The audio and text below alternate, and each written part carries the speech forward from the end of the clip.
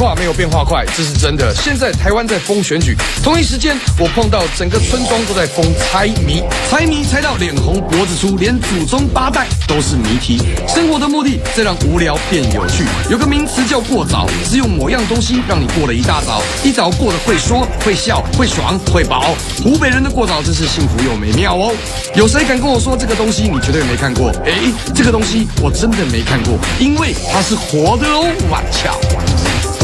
第一次看到活的银鱼啊！活的银鱼，活的银鱼！哇各位，我们来到湖北啦。这个湖北啊，跟湖南用什么湖来做交界呢？洞庭湖。但是呢，横跨过的江是什么江呢？就是长江。现在到了湖北啊，有特别一个地方要介绍的，就是武汉长江大桥。这武汉长江大桥不错哦，我跟各位稍微解说一下好了。上面呢，哎，可以走这个车子连接长江的两岸，中间这一段呢是铁路，京广铁路，北京到广州，哎，是贯穿全国南北的哦。下面河道长江，长江上游下游的交通往来就靠船只啦。这是三维的立体的，那但是啊，这个江边的人也很重要啊。江边呐，他们可以干什么呢？可以这个逛街、散步、谈恋爱、上厕所、洗衣服，还有我们来这边拍片，也是在这江边嘛，是不是？地理武汉三镇我读过，历史武昌起义我也知道，但是正儿八经的武汉啊，湖北我是第一次来，就给下猪喽，非常的大，站在这里一分钟就有一百二十辆车经过，这还不包括哎铁路跟水路哦，这里可是中国交通的心脏，简单的说两个字，枢纽。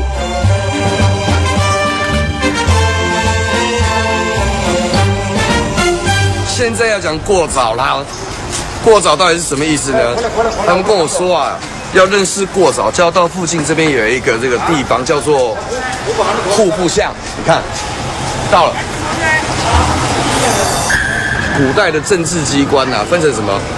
礼部、兵部、刑部，其中还有一个户部。那个兵部啊，管军事嘛；刑部呢，就是管这个司法。那户部管什么呢？管人呐。好莱坞电影忙碌的纽约啊，赶上班酸菜面包加热狗，时间够的话再跟小贩要一杯咖啡。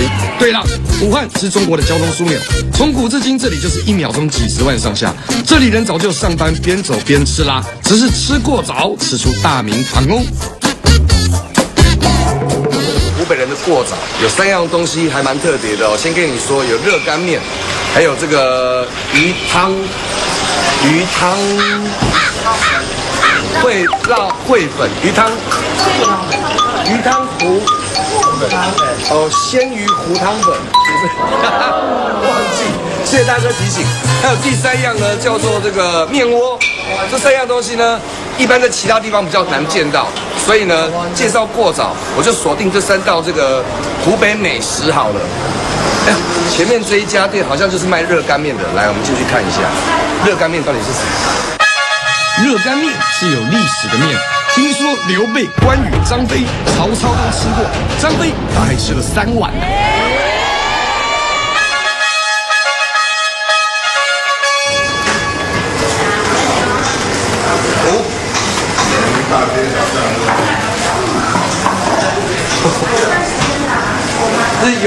吃热干面吃的不过瘾，还要买回家吃，是不是啊？对，这个意思啊。那我要买热干面，要先到那边付钱，是不是？再过来点。哦，那我们再过去一下。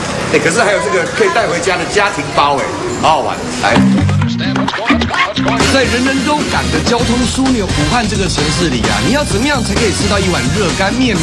来，走，我们去领热干面。热干面有什么吃法？这个是面，对不对？你现在淋的是什么？卤水。卤卤水是不是？那这个是什么？酱油。酱油，这个是什么？香油。香油。白萝卜。白萝卜。大头菜。大头菜。红萝卜。红萝卜。葱花。葱花。麻酱。麻酱。哇，手势好利落。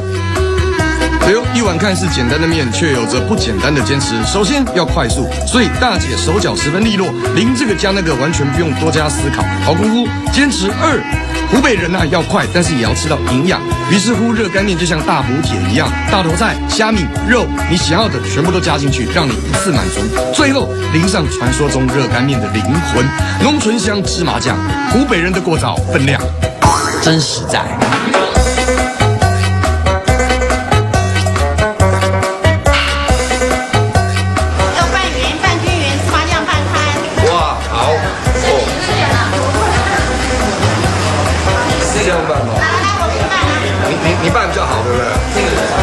这个热干面就是湖北很有名的过早，对不对？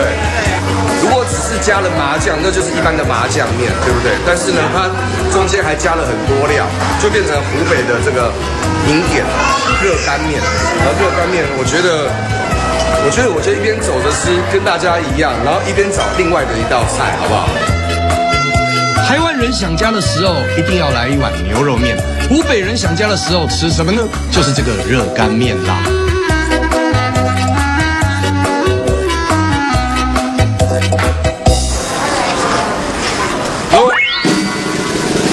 过早第二样美食面窝，大哥你好，大哥贵姓？姓郭，郭大哥是不是？这面窝是你们家的？对。这从古到今，武汉市人有七年的历史了。你老婆好像比你会讲话。大姐你好，说说说你跟郭大哥是夫妻俩嘛？对不对？一起卖面窝，哎，面窝从古到今都有了，是不是？对对对。武汉的风味，糍粑面窝它的名字叫金巴银，叫金包银啊。面窝是黄的，糍粑是白的，哦，面窝是黄的，糍粑是白的，就是。金色包是银色的，对不对？好兆头哎。